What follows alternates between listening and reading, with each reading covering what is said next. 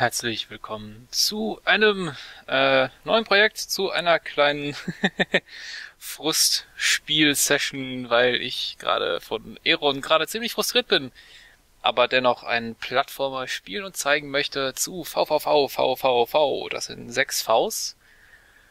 Äh, schon ein kleiner Klassiker, nicht allzu altes Spiel, aber sieht sehr alt aus, zugegeben.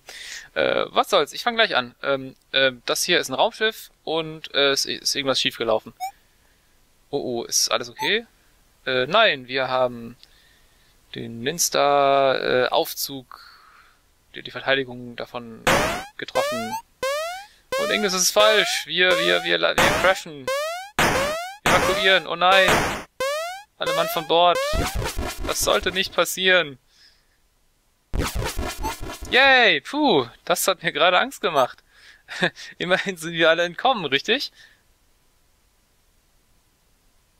Leute? Oh. Willkommen an Bord.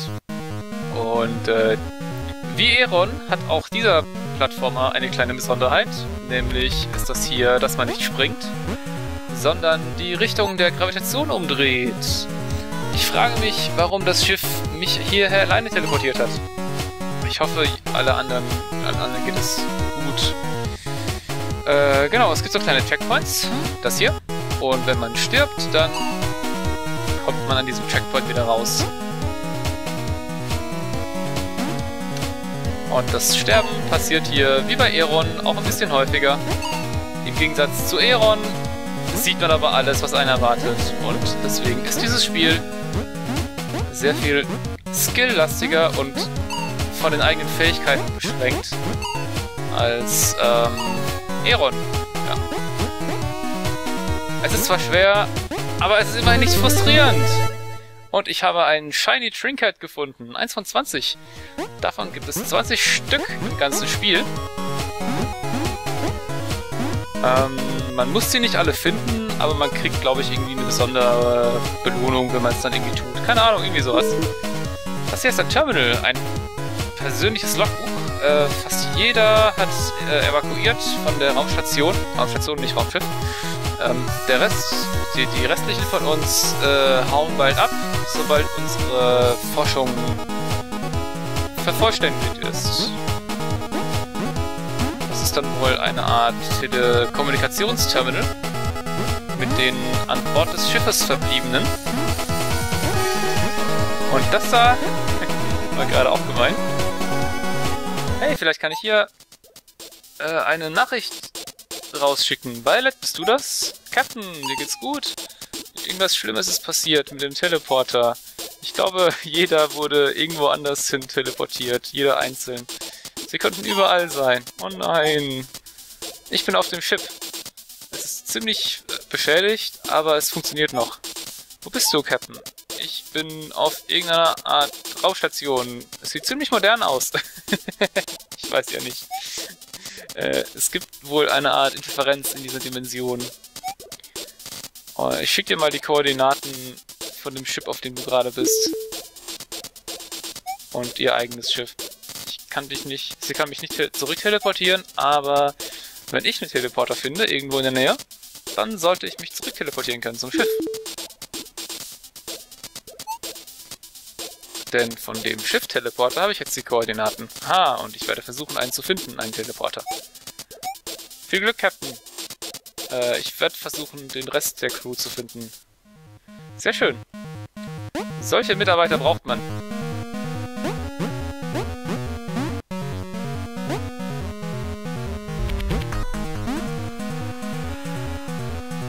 Und wie man vielleicht hört, äh, auch wie auch Eron und auch Cave Story hat dieses Spiel 8-Bit-Musik. Da ist ein weiteres Shiny Trinket. Ich brauche sie wahrscheinlich wirklich nicht. Tatsächlich braucht man sie nicht. Aber es wird nett sein, äh, sie zurückzunehmen zum Schiff. Und, äh, Mist. Genau, äh, 8-Bit-Musik finde ich super, persönlich. Finde ich ziemlich cool. Ich weiß, es gibt Leute, die das nicht mögen. Oh, Menü. Ähm, kann ich das nicht? Nein, okay, das kriege ich nicht direkt. aber ich finde 8-Bit-Musik super. Oh, Mann. Ich vergesse irgendwie immer, wenn ich da hochkomme, dass das... Äh? Vielleicht doch doch nicht? Keine Ahnung. Oh, Menü. Übrigens an dieser Stelle ein Gruß an Zwergesel, der mir dieses Spiel vor Ewigkeiten, glaube ich, empfohlen hat. Oder, oder über zwei Ecken kam es zu mir von ihm, ich weiß nicht. Also nicht, dass er das programmiert hätte oder so, aber äh, über ihn, komm schon, mehr oder weniger direkt äh, oder indirekt äh, kenne ich dieses Spiel. Ich habe jetzt keine Lust mehr. So. Ich gehe sterben. Nein. Genau, Zwergesel, äh, wir haben auch schon zusammen dieses Spiel gespielt, uns gegenseitig unsere Skills gezeigt. Nein, jetzt runter. Ja, sehr gut. Yay, das zweite. Und jetzt keine Lust mehr, jetzt gehe ich äh, äh, raus. Und deswegen, genau, ein Gruß an ihn. Das ist der Hinweis, wenn ich Enter drücke, das ist mir gerade eben aus Versehen passiert. Dann kriege ich die Karte. Das da ist ein Space Invader. Yay! Das war dumm. Das war sehr dumm. Äh, Moment. Achso, ja, genau.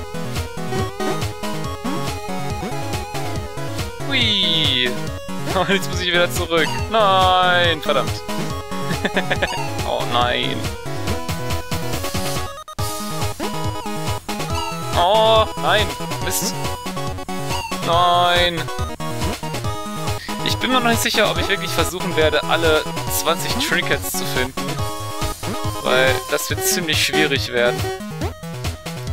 Kriege ich hier den Sand komplett weg? Also, was heißt Sand? Treibsand? Keine Ahnung. Ich nenne es Treibsand, aber es sind ja eigentlich so Plattformen, die sich auflösen. Und wahrscheinlich kann man hier um einiges schneller durchgehen, als ich das tue. Aber ich lasse mir ein bisschen Zeit und fail dafür umso mehr, wenn ich mal dann was versuche, Gewalt zu machen. Ein Teleporter! Ich kann zurück zum Schiff! Yeah! Ähm, es gibt allerdings... Nee, da war keine Abzweigung.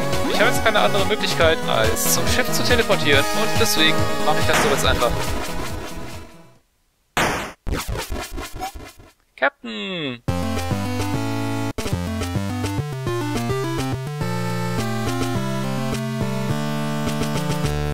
Ich habe ein Crewmitglied gerettet. Vier bleiben übrig. Oder vier sind noch übrig. Vier muss ich noch retten. Vier sind noch da, um gerettet zu werden. Was ich ein bisschen komisch finde, weil die ist ja schon an Bord des Schiffs. Das heißt, die ist ja quasi schon gerettet. Hm, keine Ahnung. Doktor, hast du... Ach so, nein! Äh? Bin ich auf dem Schiff? Ich weiß nicht. Äh, Doktor, hast du irgendeine Idee, was den, den Crash verursacht hat? Es scheint...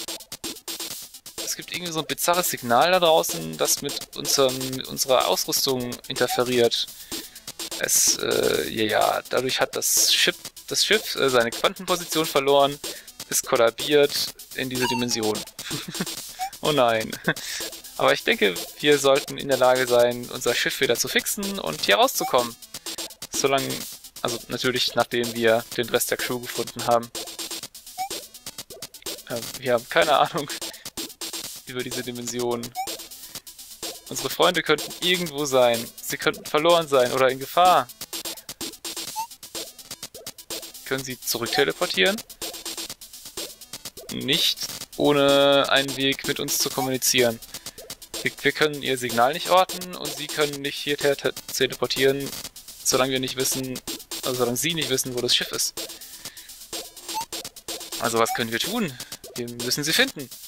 Äh, head, geh raus in die Dimension, schau dich um und finde sie. Okay, wo fange ich an? Oh, ich habe mal geguckt mit dem, mit dem Scanner. Äh, funktioniert nicht, aber ich habe was, was anderes gefunden. Nämlich ein paar Signale. Diese Punkte haben hohe Energie und äh, wahrscheinlich sind es Teleporter, das heißt, wahrscheinlich in der Nähe von was Wichtigem. Könnten, könnte ein guter Anfangspunkt sein, um sich umzuschauen. Na gut, dann gehe ich da mal raus und schaue mich mal um. Mal gucken, was ich finde. Und äh, der Doktor bleibt hier und ist quasi hier so als Backup, wenn ich Hilfe brauche. Terminals. Schiff, Schiffradio funktioniert. Achso, nur das eine funktioniert. Ah, und das da oben. DSS Soul Eye. Ship Navigationskontrolle. Unser Schiff heißt DSS Soul Eye. Error, Error. Kann die Dimensionskoordinaten nicht isolieren. Interferenz detektiert. Was? Ah, da kann man die Musik auswählen.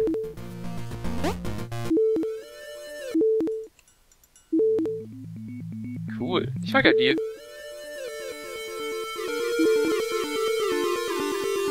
Songs werden weitergehen, äh, bis ich das Schiff verlasse. Und wenn ich Trinkets sammle, dann kann ich neue Songs freischalten. Das, das nächste kriege ich mit 18 Trinkets. Na, vielen Dank. Und ich glaube, hier kann ich meine Trinkets äh, aufbewahren.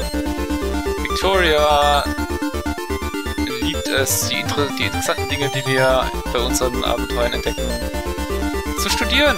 Ich hoffe, sie ist okay. Ich hoffe, ihr geht's gut. Die kann ich sie aber nicht mehr einsammeln, oder? Na, schade, leider nicht. so, ein letzter Blick auf die Karte. Hier unten ist der Teleporter des Schiffs. Den kann ich allerdings nur benutzen, um dahin zurückzugehen, wo ich gerade herkomme. Das bringt mir relativ wenig, weil das ja eine Sackgasse war. Und das heißt, die einzige Möglichkeit, die ich jetzt habe, ist hier rauszugehen, aus dem Schiff. Yeah! Und dann speichere ich doch glatt mit hier an den äh, Speicherpunkt. Und äh, schaue mich hier um, ne, was es hier so alles gibt. Dumm, Guck mal, da ist noch so eine Öffnung. Was gibt's hier so? Oh, hier geht's runter.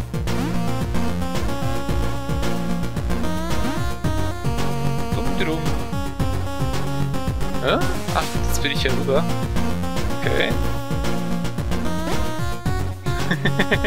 das Gemeine ist halt auch, man kann wirklich nur die, die Gravitationsrichtung umdrehen.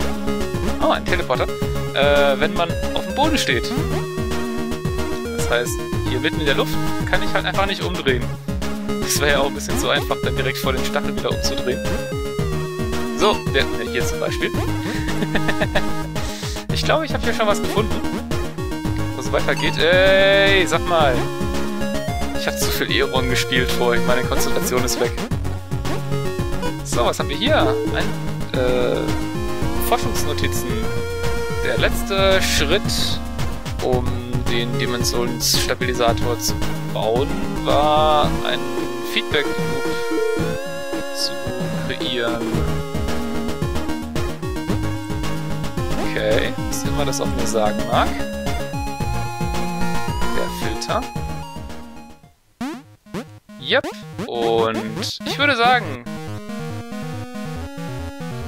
das waren jetzt äh, 13 Minuten. Zeit für eine neue Folge. Vielen Dank fürs Zuschauen. Und ich hoffe, ihr seid auch beim nächsten Mal wieder dabei bei diesem tollen Spiel. Viel besser als Eron. Entschuldigung, Muckel, aber das ist echt besser. Bis dahin. Ciao.